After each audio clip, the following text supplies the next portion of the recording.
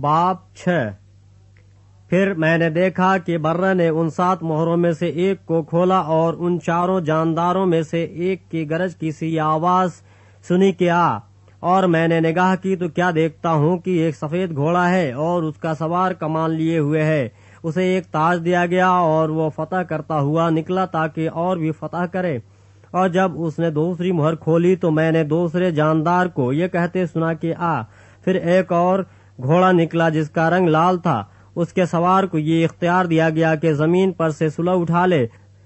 تاکہ لوگ ایک دوسرے کو قتل کریں اور اسے ایک بڑی تلوار دی گئی۔ اور جب اس نے تیسری مہر کھولی تو میں نے تیسرے جاندار کو یہ کہتے سنا کہ آ، اور میں نے نکاح کی تو کیا دیکھتا ہوں کہ ایک کالا گھوڑا ہے اور اس کے سوار کے ہاتھ میں ایک ترازو ہے اور میں نے گویا ان چاروں جانداروں کے بیچ میں سے یہ آواز آتی سنی کہ گیہوں، دینار کے سیر بھر اور جو دینار کے تین سیر اور تیل اور میں کا نقصان نہ کر۔ اور جب اس نے چوتھی مہر کھولی تو میں نے چوتھے جاندار کو یہ کہتے سنا کہ آ اور میں نے نگاہ کی تو کیا دیکھتا ہوں کہ ایک زرد سا گھوڑا ہے اور اس کے سوار کا نام موت ہے اور عالم ارواح اس کے پیچھے پیچھے ہے اور ان کو چوتھائی زمین پر یہ اختیار دیا گیا کہ تلوار اور کال اور وبا اور زمین کے درندوں سے لوگوں کو ہلاک کریں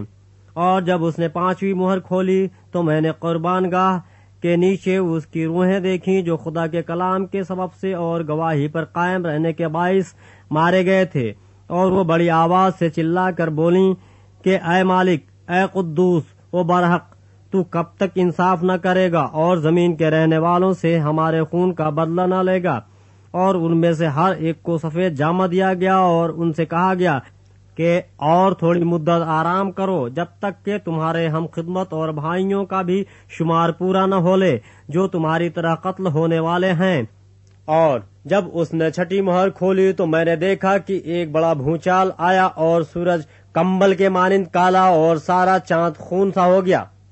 اور آسمان کے ستارے اس طرح زمین پر گر پڑے جس طرح زور کی آدھی سے ہل کر انجیر کے درخت میں سے کچے پھل گر پڑتے ہیں۔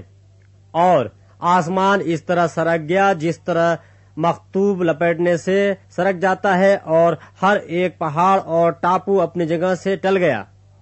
اور زمین کے بادشاہ اور امیر اور فوجی سردار اور مالدار اور زوراور اور تمام غلام اور آزاد پہاڑوں کے غاروں اور چٹانوں میں جا چھپے اور پہاڑوں اور چٹانوں سے کہنے لگے کہ ہم پر گر پڑو۔ اور ہمیں اس کی نظر سے جو تخت پر بیٹھا ہوا ہے اور بر کے غضب سے چھپا لو، کیونکہ ان کے غضب کا زور عظیم آ پہنچا۔ اب کون ٹھہر سکتا ہے؟